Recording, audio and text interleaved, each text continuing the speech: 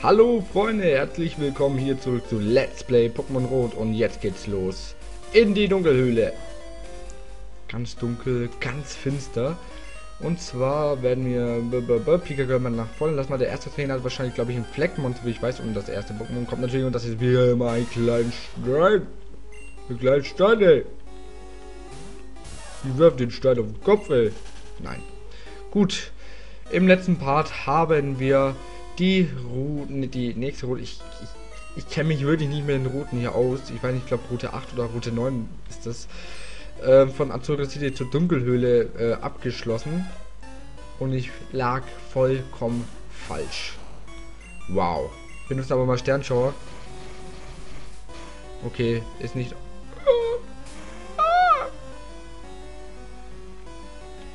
Boah, das gibt's doch nicht. Das ist doch sowas von unnötig. Ohne Witz.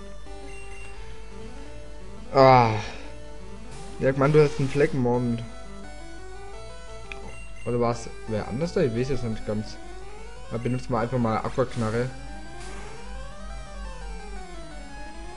Das wird schon herhauen, hinhauen. Knochenkeule kannst du mal ziemlich in deine Hose stecken. Ne? Boah, das riecht wieder auf irgendwie. Oh. Und das erste Pokémon mit 100 KP. Jetzt kommt ein Fleckmann, ich hab's doch gewusst. Dass er am Anfang Krakoso einsetzt, das hätte ich nicht mehr gedacht. Okay, mit 24 KP äh, versuchen Fleckmann zu besiegen. Bin mal gespannt. Okay, Volltreffer. Passt. Schön, schön, schön. Das gefällt mir. Game over. Ja, das ist wahr. So, jetzt wollen wir ein bisschen Concentration. Richtung nach oben. Also wenn man dann reingeht, dann muss man gleich runterwärts. Dann geht es rechts und dann nach hoch. Da ist dann eine äh, Treppe. Danach geht die ganz recht an die Mauer. Ganz runter. Also immer am Rand entlang am, am besten. Und irgendwann kommt dann wieder hier ein Trainer. Genau. Zu Hause zeichne ich gern Pokémon. So. Der hat, glaube ich... Ja, okay. Die haben fast alle Fleckmons, die Pokémon Maniacs. Da benutzen wir natürlich auch einen Donnerschock. Der ist immer nicht so einfach zum Besiegen, leider. Leider Gottes. Aber ich glaube... Nein, reicht noch nicht ganz. Aber es paralysiert. Nein. Boah, war knapp. Benutzen wir mal Ruckzuck Creep für alle Fälle. So, okay. Es hat, ist bald unser erstes Pokémon leider K.O. Blödes Trakosso. Ich bin erschöpft. So, und dann müsst ihr gleich nach oben. Gleich, wenn es rechts weitergeht nach oben. Da befindet sich auch noch eine Trainerin mit Pflanzen-Pokémon. Und warum war ich so... Oh, ich bin dumm. Warum wechsle ich die Pokémon nicht? Ah, Gott. Ja, Mirabla und Knuffenster, so viel ich weiß. Oder Bisasam. Bisasam, glaube ich, war das. Hat dann sie... Eh. So, wenn wohl nichts mit einem Absorber. Setzen wir mal eine Glut ein. Entschuldigung.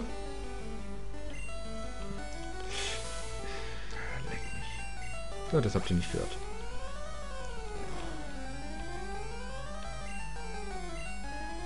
Wie ich sowas liebe. Da geht mir ein Herz auf. oh Mann, genau, dieses haben war das. Ja, ich lasse aber lieber nicht die Sandra kämpfen, weil sie ist auch von Typ Boden jetzt hat und das ist nicht gut.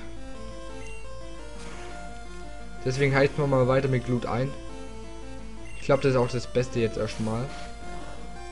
Dann Rankenhieb nützt dir auch nichts. Okay, irgendwann müssen wir Paralysierungskräfte, äh, irgendwann müssen wir paralysiert sein bei, einem, bei einer Attacke.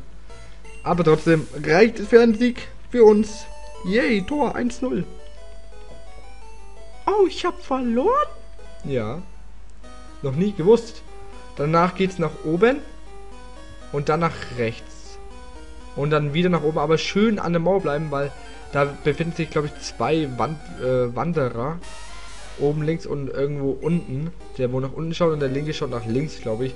So genau weiß ich das jetzt aber auch nicht mehr. Deswegen schön am Rand bleiben, damit er uns nicht erwischt. Und dann nach links. Und da befindet sich die nächste Treppe. Danach geht man wieder nach links, geht runterwärts, geht dann aber dann gleich geht dann gleich hier rum. Also nach rechts nochmal.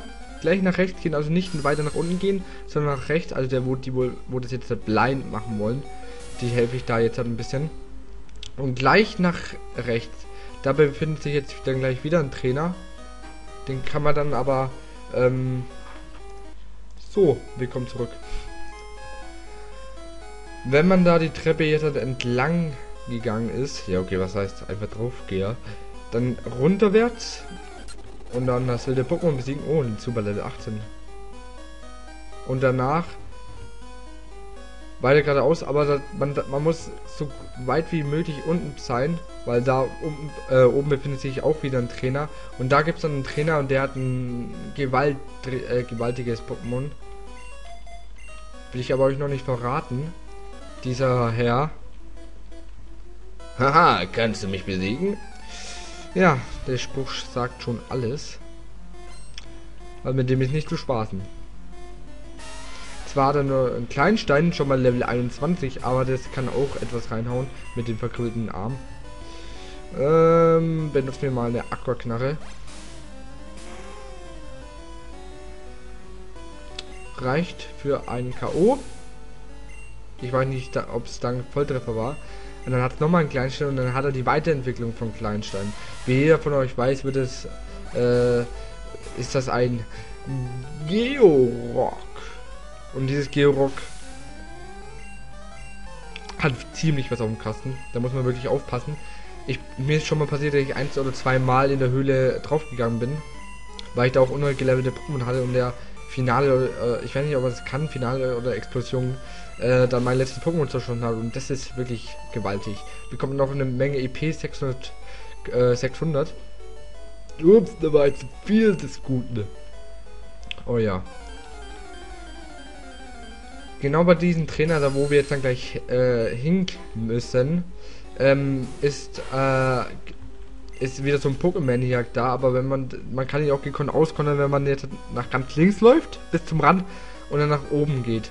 Wenn man jetzt halt aber eine, äh, äh, einen Schritt nach rechts geht und mal nach hoch, nach oben geht, dann schaut er nämlich, der schaut nämlich nach unten und dann äh, wird ihr getroffen und der hat einen Fleckmon. Und dieses Fleckmon hat mich umgebracht. ja, halt mal privat jetzt hat, also nicht jetzt hier oder so, sondern schon privat. Da muss man auch aufpassen, man muss jetzt halt, wenn man, wenn man die, die oben rechts, die Treppe da dann äh, wieder rauskommt, dann muss man gleich rechts ganz runter, bis es nicht mehr runter geht, weil da befindet sich eine Trainerin. Danach ganz links bis zum Rand, dann ganz weit runter, bis es nicht mehr geht und dann wieder ganz rechts. Also so schlangenförmlich äh, dann äh, hinweg gleiten. Auskontern ein bisschen. Oh, ein Onyx.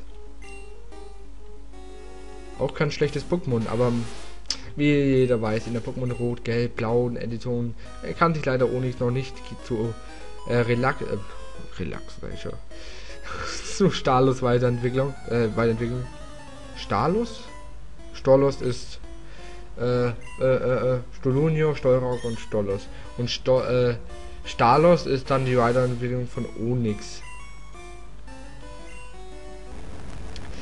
So, und gegen die Arena, äh, die ähm, Trainerin, die, äh, die wo wir jetzt kämpfen, die wo Mauzi Taubsi Mirapla hat, ähm, wird unsere letzte Trainerin sein in diesem Tunnel.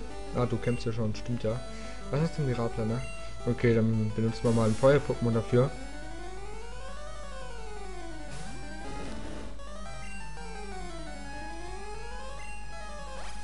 Benutzt mal Glut. Ja, du bist schneller wegen, wegen der Paralyse. Paralyse. Paralyse. Paralyse. Ey, gerne Französisch. Paralyse. Als Koch muss man ja Französisch kennen. Bin ich mal gespannt, wann ich es eventuell lernen kann, damit ich ein französisches Let's Play hochnehmen kann. Der war gut, ne? Meine Stimme wird gerade ein bisschen rau, ey. So, jetzt kommt das Taubsi. Oh, wie ich mich da irgendwie, als hätte ich da irgendwie recht von Poke, äh, von Pokémon Experte und Fans irgendwas offen. Damit ich dann nachschauen kann. Ich bin wirklich ein guter Vorhersager, ne? So, ich darf aber wieder Pike ran. Bis jetzt ist noch kein einziges Pokémon von uns gestorben, aber ich glaube, jetzt ist es langsam so weit. Ich hätte ja eigentlich auch Nidoqueen benutzen können und der hat mit Donnerblitz das auch gelöst, aber wenn du das kannst, warum nicht, ne? Level 27. Sehr schön. Pfadfinderin wurde besiegt. All meine Pokémon wurden besiegt. Das hätte ich nie gedacht. Ich glaube, links irgendwo befindet sich dann noch ein Pokéball. Da in der Höhle befinden sich sehr viele Pokébälle, so viel ich weiß, aber ich war noch nicht so richtig, sagen wir mal so, ich habe die Dunkelhöhle noch nie richtig erforscht gehabt. Ich hatte nie richtig Lust drauf. Was war das? Hä? Was bist du? Oh nein. Aquaknarre. Festtunnel, Azoria City, Lavandia. Und jetzt kommen wir langsam aber sicher zu einer Stadt, in dem viele Selbstmorde begangen worden sind. Und so eine Art Friedhof. Bevor wir dahin gehen, werden wir uns hier das Item Top Adder holen von diesem Busch. Und gehen mal Richtung nach unten. Wir werden die Trainer dann irgendwann anders dann mitnehmen, weil ich will jetzt so gut, so schnell wie möglich dann in die nächste Stadt zu gehen. Äh, Stadt gehen. Und da befindet sich das Mysteri die mysteriöse Stadt Lavandia. Von dem Mythos Lavandia Town. Diese Musik, die ihr wohl äh, nun hört, wurde verändert. Das bedeutet, im Pokémon Grün, in der allerersten Edition, was nicht in Europa erschien, war eine andere Musik da in der Lavandia. Und diese, La äh, diese, Mus die, diese Lavandia-Musik, die Stadtmusik, hat vielen Kindern äh, zum Selbstmord gebracht. Zum Beispiel aus einem Haus springen, sich ertrinken, erschlagen. Näher will ich nicht eingehen, aber ähm, das ist wirklich so. Da ist, ich weiß nicht, ob das ein Mythos ist oder so, aber man muss da wirklich aufpassen. Früher wusste man ja halt noch nicht so richtig über Musik und ähm, Hypnose und so alles Bescheid. Das ist halt das Problem beim früher gewesen. Da muss man auch wirklich aufpassen, wie hier dieses Kind. Glaubst du an Geister? Ja. Echt? Hätte ich nicht gedacht. Was wenn ich sage nein? Glaubst du an Geister? Nein. Hahaha, ha, natürlich nicht. Und diese weiße Hand da auf deiner Schulter ist natürlich nicht echt.